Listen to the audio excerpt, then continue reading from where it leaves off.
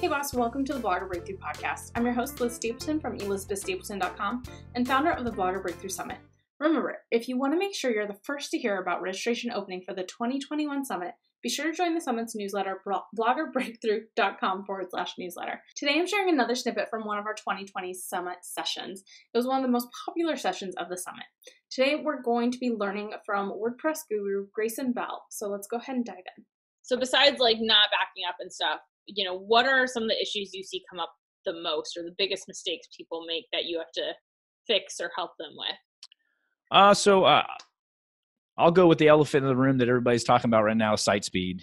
Uh, everyone, everyone is wanting to kill some site speed. Right? You know, like everyone's like, got to have a fast site, got to have a fast site, and and yes, that's very important. But um, so there are there are several things in site speed that you should not be doing Okay. Um, and a lot of these themes out there have them on there, and and you know it looks pretty, and everyone's so excited about it. But don't put sliders on your site. Sliders are terrible for site speed. And and to be honest, I think there was a study uh, like several years ago that's nobody interacts after the first slide. Yeah. Like people just scroll. Like no yeah. one sits there and and watching a slider and going, "Oh, this is nice." Like people don't really yeah. do that anymore. And the impact sliders have compared to the what people see, you know, like just take it off. Yeah. Just take the slider off. Get rid of it. It'll be better.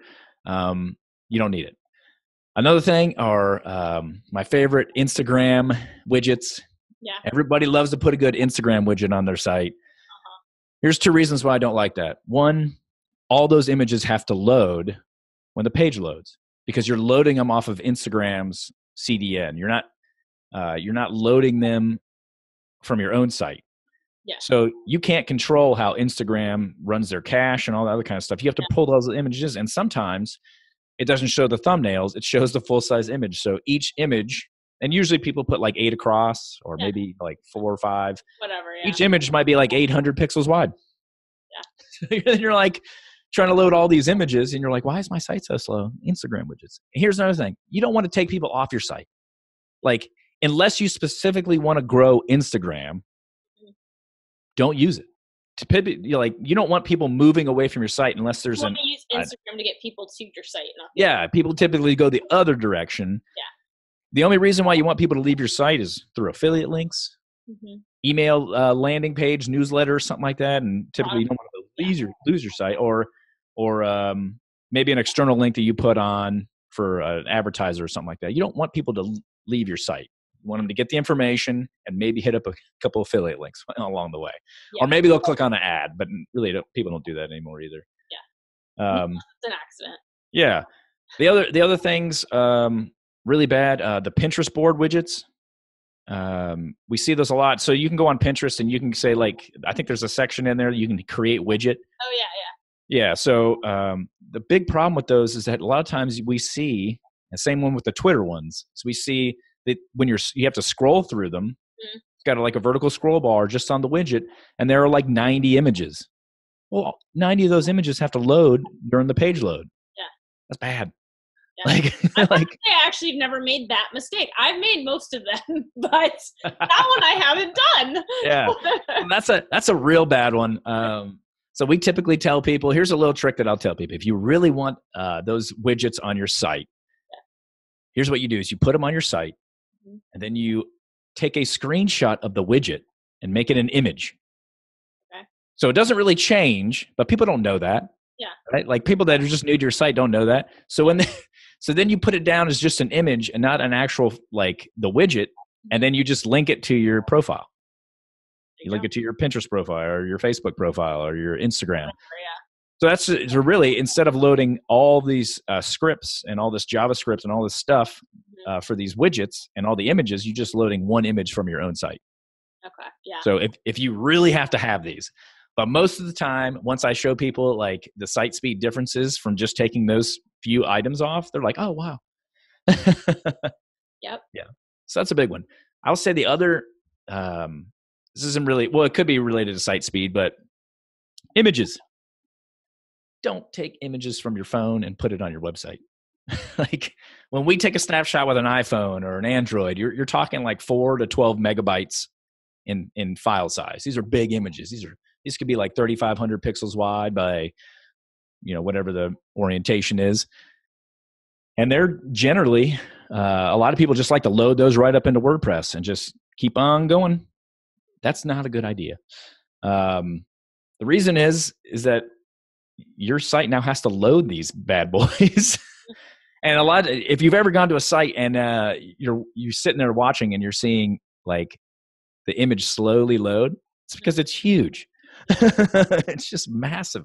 Yeah. so what you want to do is you want to you want to put it in a, in some program. Some people use photoshop. There's a there's a free one that's like photoshop's called gimp. Um, i use picmonkey some people use canva. Doesn't matter resize these bad boys down and get them to a, a size that that makes sense for you. Some people if you want portrait you know make a size that works for you. If you want landscape make that size. Mhm. um, and then i typically run mine through uh, Shortpixel Yep. to compress. So a lot of times you can get an image that you know even if resize might be 500 kilobytes in size and you want to try to aim for 150 or less 150 kilobytes or less uh, 100 and less if you can get it. Because here's the caveat every page that you have on your site you want to have it to be less than two megabytes in, in full size. That's every element loading on the page. And if you want to know a tool to check that you can go to tools.pingdom p-i-n-g-d-o-m dot com. tools.pingdom dot com. It'll give you a load time. That load time is mostly bs but it'll give you uh, the full page size. Okay. so this is really good uh, to check some of your popular posts. It's really good to check uh, your homepage and where people are kind of going. Yeah. so uh, run that through. You want to be two megabytes or less the smaller it is the better. Because here's the deal. Everyone's going on mobile these days. We're Mhm. mobile friendly we're mobile first uh, there are only a couple of sites that I've ever been across that really had more desktop users than they had mobile. So you're talking about someone on a mobile network trying to load a 10 12 i've i've seen up to 60 megabyte pages. Mhm. 60 i was blown away when i saw the 60 megabyte page. I was like well no wonder why it's slow. Um, um, I'm like, what are all mine? yeah so like you you like oh you would know if it was 60 megabytes. You'd be sitting there No, like I know, load anything on here. And so um, the smaller it is the faster it's going to load. So you want to try to get everything below two megabytes. A lot of people aim for one and less. Uh, that can get really hard especially for recipe bloggers. I know there's a lot of them out there. It can be really hard when you have um, high high quality pinterest images yeah, yeah. you know? So that could be a little bit difficult but just never upload them from your phone or upload them from a, a stock photography site like uh, deposit photos. Don't don't just take it and just throw it up there it's going to be the worst experience you can ever have because you'll have to go fix all of them Yeah. later down the roads Right, on that note, I hope you learned a lot about some things you should avoid doing on your website and how to fix them. Um, join me next time when I'm going to be sharing yet another sweet snippet from our one of our 2020 sessions. I'll catch you then.